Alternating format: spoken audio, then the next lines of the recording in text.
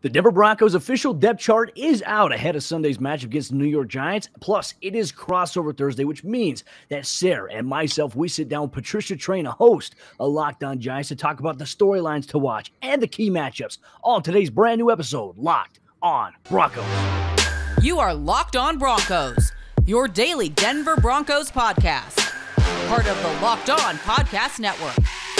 Your team every day.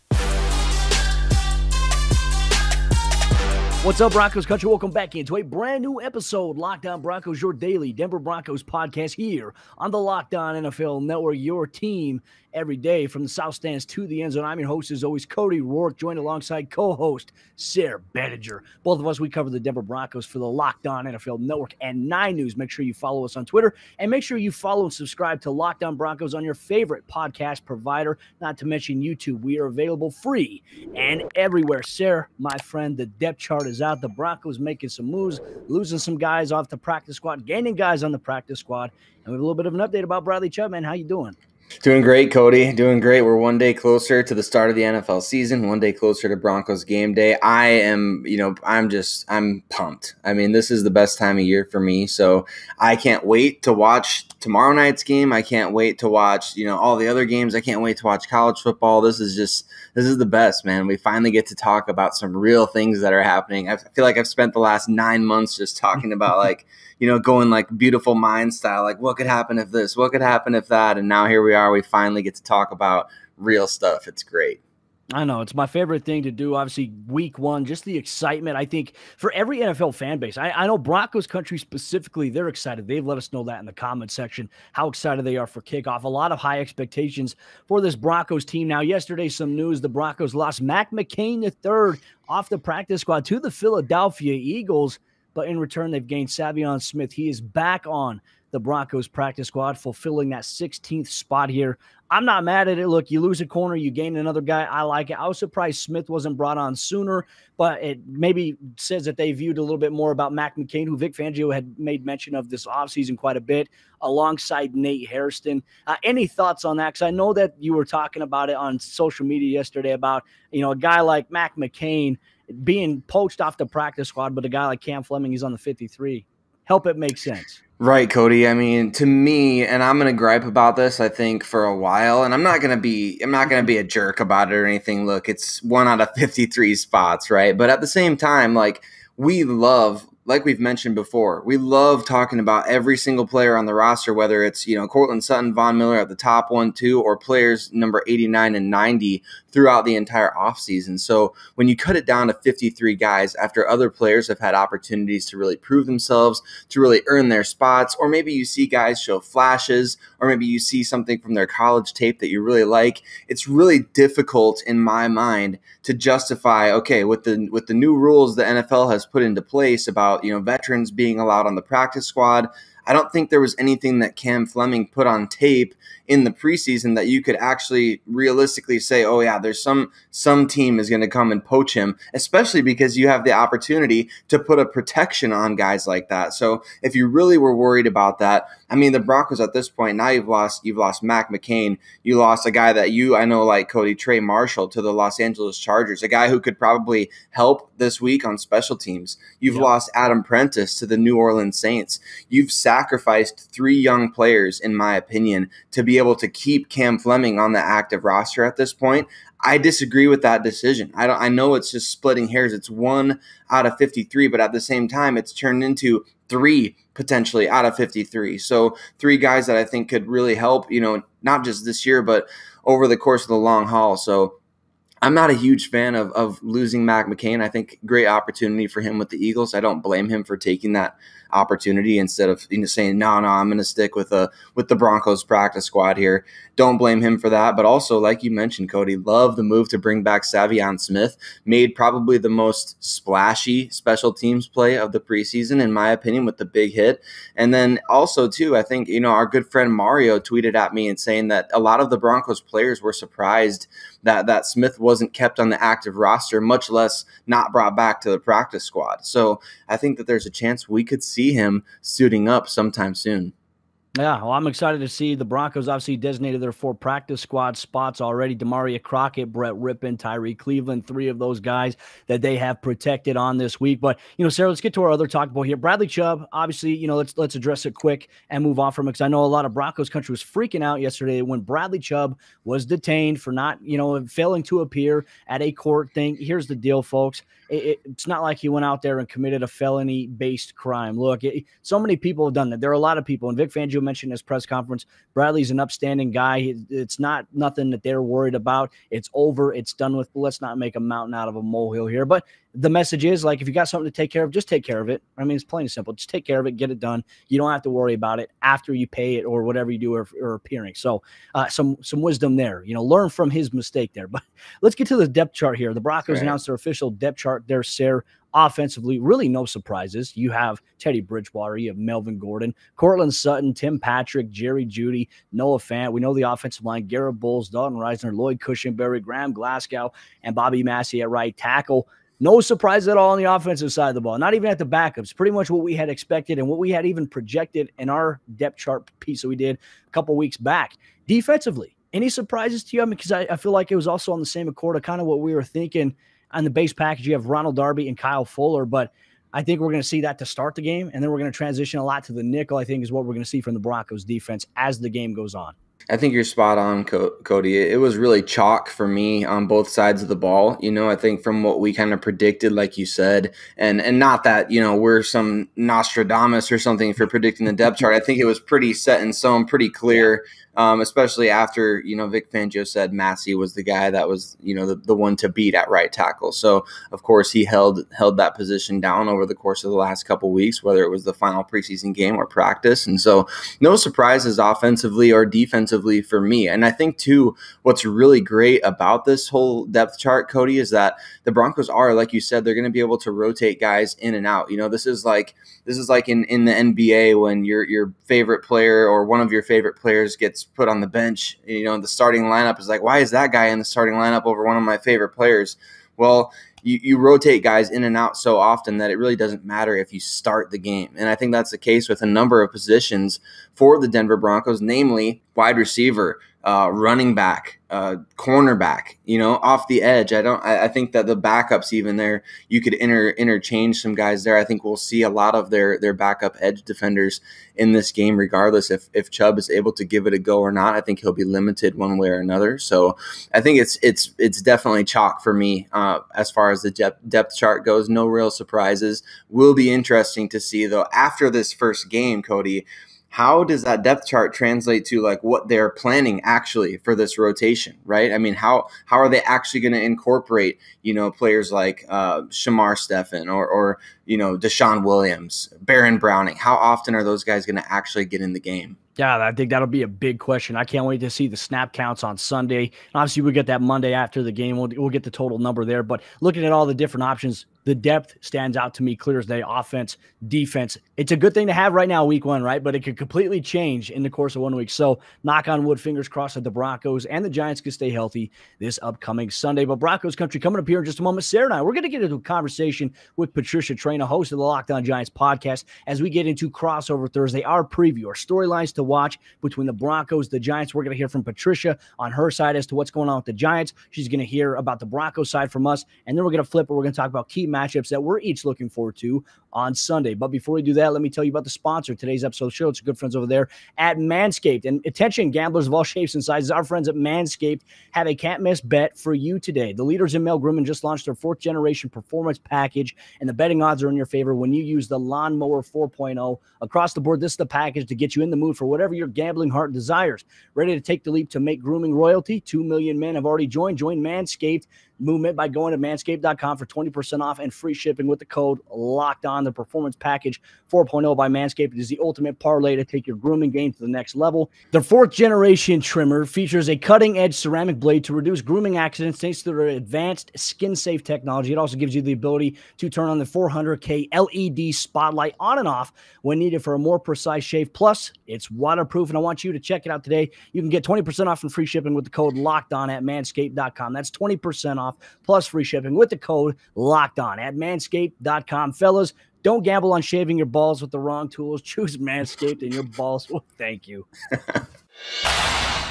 Crossover Thursday, all across the Locked On NFL Network as football season is finally here, week one. I'm Cody Roark, and this is Sayre Bedinger. We're joined by Patricia Traina, and also we're joining Patricia Traina's Locked On Giants show to talk about Sunday's match between the Denver Broncos and the New York Giants. We're going to flip the script here a little bit here. And Patricia, obviously, great to see you. I know we spoke briefly during this offseason once the schedule was announced and we found out these two teams were playing. Uh, but let's waste no time here. The New York Giants, they're a team that I've kept my eye on this offseason offseason because I felt like last year they were an underrated defensive team. They didn't get the recognition I felt like that they had deserved, and they had some tough players there. Looking at some storylines to watch here, I think I'd be remiss if I didn't open up here by asking you from a Broncos perspective, what is the latest status on Saquon Barkley coming off of ACL surgery? To our knowledge, he had just recently come back into contact practice for the first time this offseason. Where things at with Saquon? Yeah, first off, good to see you both. Um, Saquon Barkley went through a padded practice last week. It was actually, i uh, I'm sorry, a partially padded practice last week. I think it was shorts and shells. Um, had some contact today, Wednesday. Um, when we record this, he went through a fully padded practice, and so he got the contact. They simulated the contact. Now, as you guys know, in practice, it is a controlled environment. It's not the same as, you know, you're out there on the field and you have somebody coming at you 100 miles a minute and boom, he pops you. That said, it was very encouraged to see, uh, they were very encouraged by what Saquon was able to do um, Joe Judge, we spoke to him before practice, and he said the key for Saquon is going to be these three days coming up Wednesday, Thursday, and Friday. How is he going to respond to the increased workload? And this is right now, he's at a max as far as his workloads goes. So this is as much as they can put on him as is, I guess, allowed by uh, the CBA. So they are going to see how he responds after um, Wednesday, after Thursday, after Friday, and then they are going to make a decision on him. If I had to take a guess, I think we do see him. I think he will be on a pitch count. All right. Um, I know the Giants have a short work week afterwards. So the question came up well, does it make more sense to hold Barkley till next week? And Joe Judge was like, no, if he's ready to play, he's ready to play. And we'll just, you know, it's like any other player. We'll deal with it. If there's a workload management we have to adjust, we'll do it that way. But Barkley, I think, is going to be out there on a pitch count in limited fashion. You know, as after the preseason, you know, getting the chance to go up against a second string running back that might validate a lot of fans' opinions about certain players in Denver. But uh, I'm I'm an NFL draft person, Patricia. I love I love prospects. I love watching new guys come in, get their feet wet personally for me, I had Azeez Ojulari highly more highly rated than Kadarius Toney going into the draft. So I felt like the Giants did a great job. I know Ojulari came in with some injury issues. What's the latest on him? How's he progressing? How's he looked in the preseason? Uh, what can we expect from him in game one? Well, you're not alone there. I also had Ojulari in the first round, and I had Toney actually in the second round. So we share that opinion in common. Ojulari has been um, probably the most active, the most productive of the Giants rookie draft class, which, you know, I know is not saying a lot given the injury statuses of the other guys. You know, we've got Toney who's been dealing with COVID and Aaron Robinson, the third round pick who's who's uh, currently on the pup list and Elerson Smith who's on IR. But Ojulari, this is a kid who went up often against the first stringers and he was pretty darn good. Now, that said, the first stringers consisted of Andrew Thomas, Matt Peart, two guys that had struggles in the uh, in the preseason. I think we all saw that in the preseason game, the preseason finale. But there's a lot of encouragement there because this is a kid who can hold the edge. He's a guy who can rush the passer, and he's only going to get better. And I think you know, e- even though he's not listed as the starting defensive uh, edge rusher there, uh, Oshane Ximines is ahead of him. I think it's just a matter of time before he and Lorenzo Carter are your starting edge rushers. And I'm really excited to see what this kid can bring because he's got a quick first step. If he's healthy, I think he's going to be very disruptive and he's going to give offensive tackles a lot of problems. One of the key matchups I'm looking forward to seeing, obviously, you look at the the wide receiving talent that they have there. Uh, you know, you mentioned Kadarius Toney. For the most part, I know there's been some question marks. Really, I think the biggest question mark entering this week is relative to Evan Engram as he's dealing with an injury. Are there any inklings that he's going to play in this game? Because the last time Evan Engram faced the Broncos, I remember it was a Sunday night football matchup in Denver. He absolutely torched the Broncos defense. You always have to watch out for him because of his versatility to line up pretty much anywhere in Joe Judge's offense. Uh, what's the latest on Evan Engram? Because he's one of the key players I want to watch in this matchup. Right now, if I had to put money down, I would say you probably will not see Evan on Sunday. Evan worked on the side Wednesday with trainers. Um, I go back to when he was initially injured in the preseason finale, how he limped off the field, was on the bench. He had his head in his hands, like, you know, he just lost his best friend. And when they took him off the field back to the locker room, he didn't even get into the tunnel before we, you know, the call came up to the press box saying that he was out for the rest of the game. So that right there told me that that injury was significant. And it's really a shame because last year, Evan Engram made it through his first full season last year. Had some issues with drops and with some of, uh, of what they were asking him to do, but they had changed that up this summer. And with Kyle Rudolph on board, even though Kyle Rudolph didn't practice during training camp because he was he spent most of it on pup, they changed up some of what they were asking Evan Engram to do. And I was really looking forward to seeing what he brought in this kind of revised role, if you will. And I just don't think, you know, he's going to be out there. I think the Giants are going to be a little thin there at tight end. Kyle Rudolph, as I mentioned, just came off pup about three weeks ago. Kaden Smith, the other tight end, he didn't practice Monday. Now, I think he was limited on Wednesday. We haven't gotten the official injury report as we record this, but I think he was limited. They're going to have to call somebody up, I think, from their practice squad. They got three tight ends on their practice squad.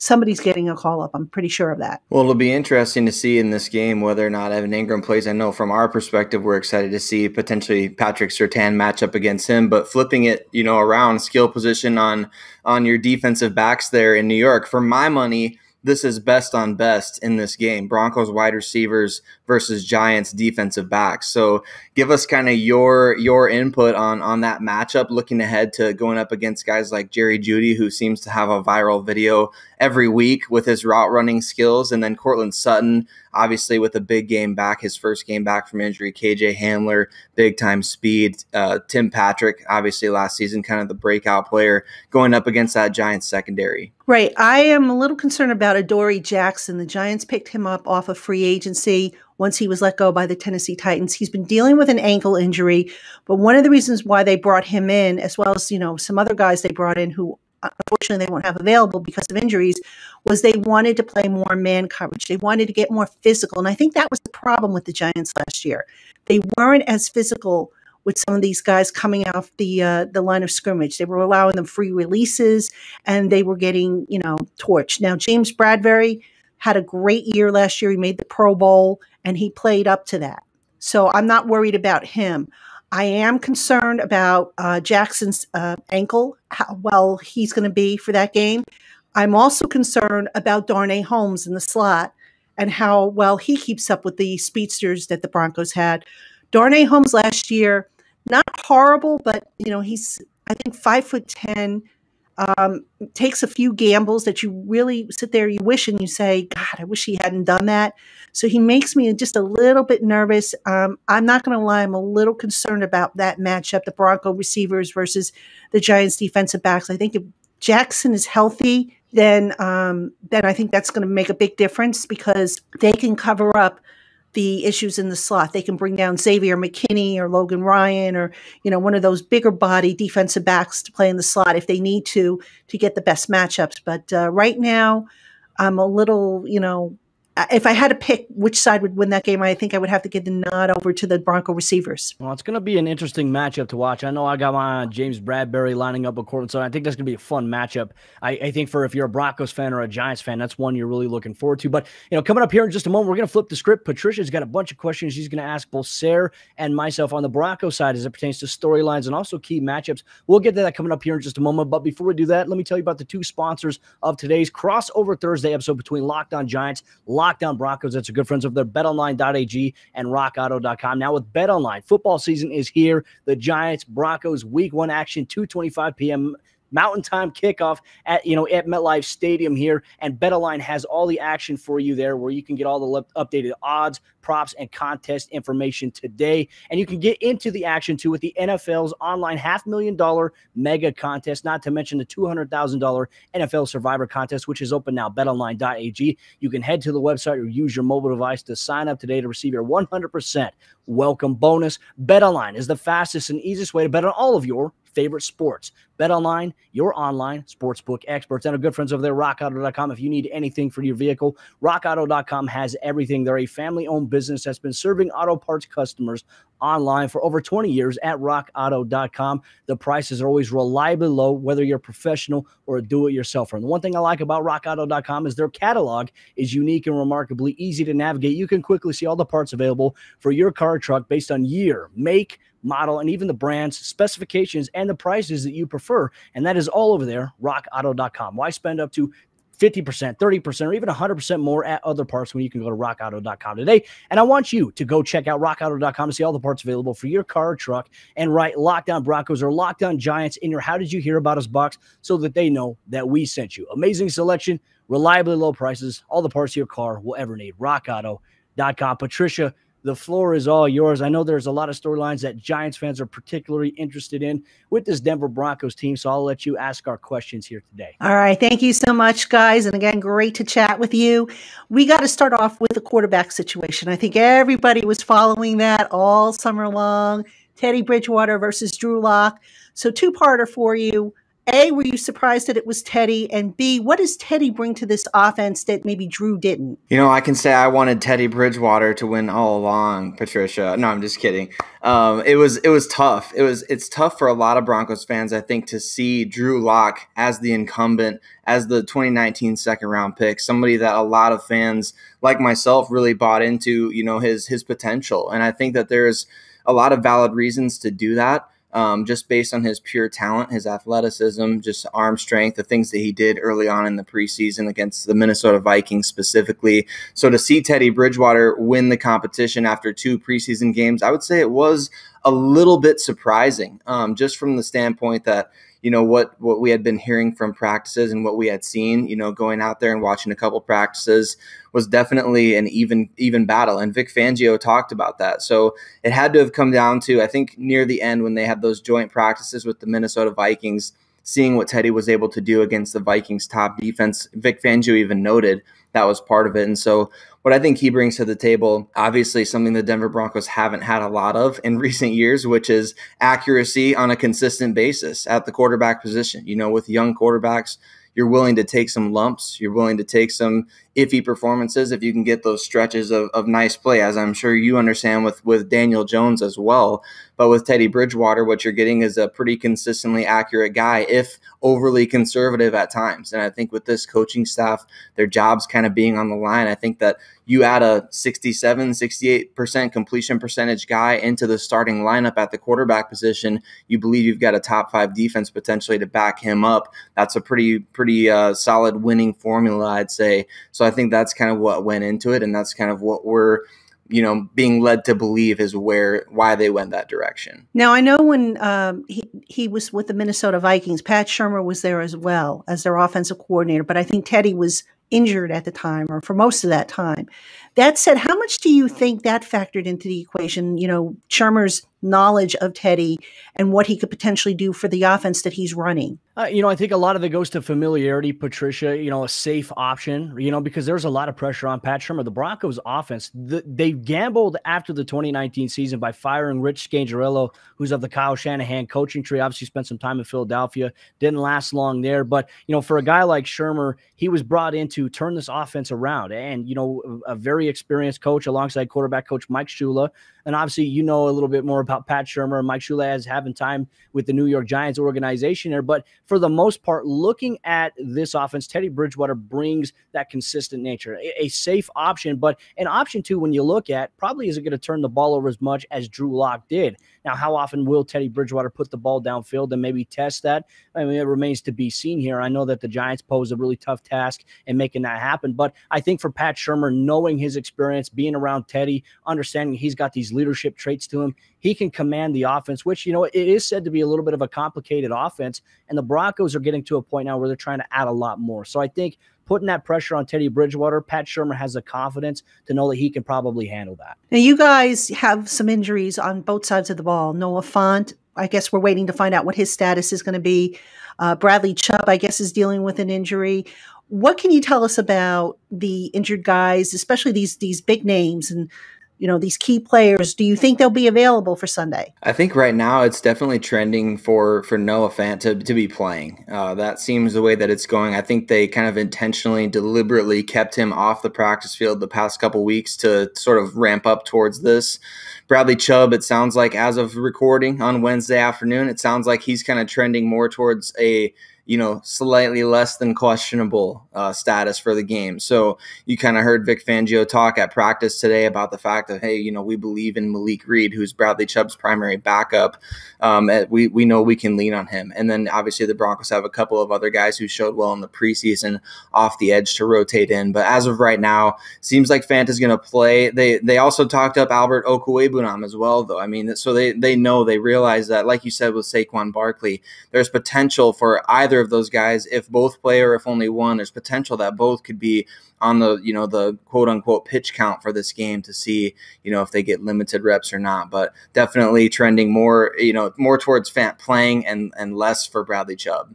And of course, Bradley Chubb had that. Uh, I guess he was detained. I think I had seen there was a report that he ran into some legal issues or something like that. Yeah, so nothing guess- too big. Just uh, you know, failure to appear. And we we even said it in today's show as well. You know, if you have you know speeding tickets, just pay them and yeah. you know, obviously make your appearance. It's it's something little, but to note at the time when that when his court day was the broncos were actually in minnesota for joint training camp practices but you have to coordinate that and i think that there was a failure to communicate on that so nothing that's not going to hold them out of action. What about Von Miller? Yeah, that's somebody you didn't mention. He's coming off of that, you know, injury that he had last year. I mean, how has he looked and what do you think he can give them at this point? Well, you know, with Von, that's been the big thing is, you know, what what type of Von Miller are the Broncos getting? Now, we didn't get to see that in 2020 because right before week one, leading up, the final practice before the Tennessee Titans game, he has that season ending ankle injury and it just it deflated Broncos country. But for Von, uh, he got his first action back on the football field in the week three preseason finale against the LA Rams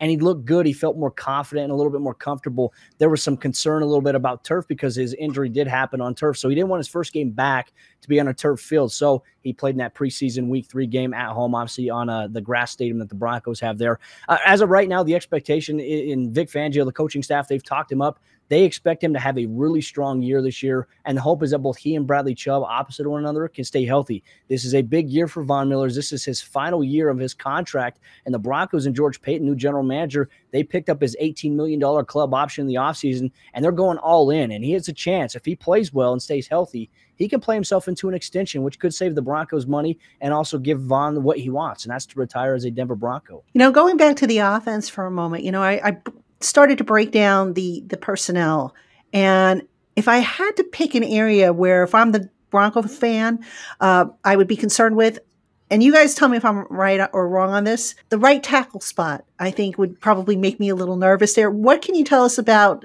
how that's been playing out? I think Bobby Massie has been named starting right tackle ahead of good old friend Cam Fleming, who was with the Giants last year. So, how has that offensive line been? Uh, been basically coming together with Bobby Massie there. Well, you touched a bit of a sore subject there with Cam Fleming, Patricia. I mean, he's you know he's a topic of discussion almost daily on this show. But uh, in all you know, in all honesty, it, has been interesting to say the least. Quite the revolving door. I know that the graphics get made on ESPN and Sunday Night Football, the carousel the Broncos have at quarterback, but quite frankly, it's been way worse at the right tackle position. John Elway tried time and time again, whether it was free agents, draft picks you know, trades, whatever. He tried anything and everything to get that position fixed. And they thought that they had it fixed with Ja'Wuan James, who obviously suffered a season ending injury out uh, outside the team facility in the offseason. So he gets cut. You bring in Bobby Massie. They actually really had some high hopes for this guy, Calvin Anderson, a player who played three seasons at Rice and then one season at Texas in college. He's kind of just been stashed away on the roster until last year. We finally got a chance to see him play a couple of games, both at right and left tackle. And, and I thought he did a little bit better on the left side. It looked a little bit more natural there. He did get a fair sh- uh, fair shake at it though in training camp. He was the first guy out there with the with the starting offense, just like Drew Lock was at quarterback. So they let kind of these guys that were holdovers from last year get the first crack at reps. But Bobby Massie, obviously a, a former pro at the Chicago Bears, did a good enough job. And Vic Fangio said that up to this point, you know, he held off a pretty a pretty uh, tough competitor in Calvin Anderson for that right tackle position. So definitely, you know, annually it seems like a concern for the Denver Broncos and Broncos country. But as of right now, I think fans are feeling pretty good about where Bobby Massie's at, considering he did fairly well in preseason play. All right, final one for you guys. Let's talk about the defense. Now, I am absolutely fascinated by the job that the Broncos did in the offseason with beefing up that defensive secondary. I think it's probably one of the best – at least on paper, you know, in the NFL right now. And I love that safety group. And Giant fans know that I'm very high on the Giants safety group. So, um, you know, that says a lot.